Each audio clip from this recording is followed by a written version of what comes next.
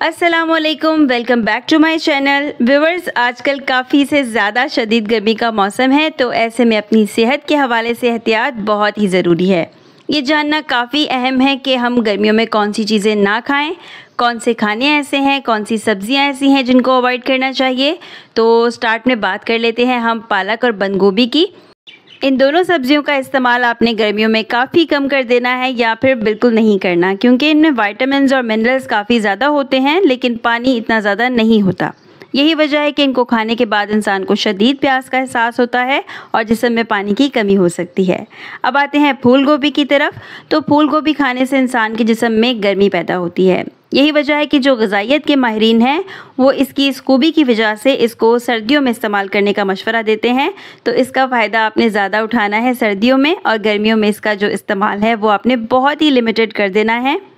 मटर और मकई दोनों बहुत ही अहम सब्ज़ियाँ हैं, लेकिन निशास्ता की ज़्यादा मकदार होने की वजह से ये जिसम में गैस पैदा करती हैं और जो पेट की बीमारियाँ हैं वो हो सकती हैं, डायरिया वगैरह तो इनको भी आपने अवॉइड करना है गर्मियों में।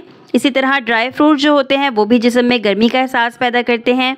इनमें पानी नहीं होता, यही वजह है कि बॉडी को ये डिहाइड्रेटेड कर देते हैं। अगर आप इनसे फ़ायदा उठाना चाहते हैं गर्मियों में भी तो इनका इस्तेमाल कीजिए मशरूबात के साथ, जो आप गर्मियों के मौसम में काफ़ी ज़्यादा लेते हैं।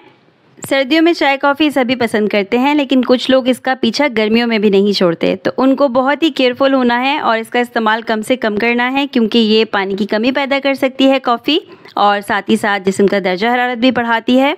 विवर्स बकरा ईद भी इस बार शदीद गर्मी में आ रही है तो अपने लाल गोश्त खाने के मामले में स्पेशली बहुत केयरफुल रहना है, क्योंकि जो रेड मीट होता है, वो फिशारे खून का सबब बन सकता है।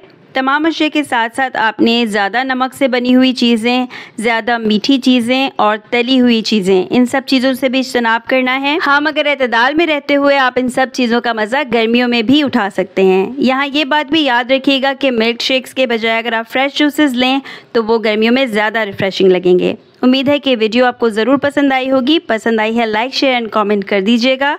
चैनल सब्सक्राइब कर लीजिए अगर अभी तक नहीं किया। मिलते हैं नेक्स्ट वीडियो में। अल्लाह हाफिज़।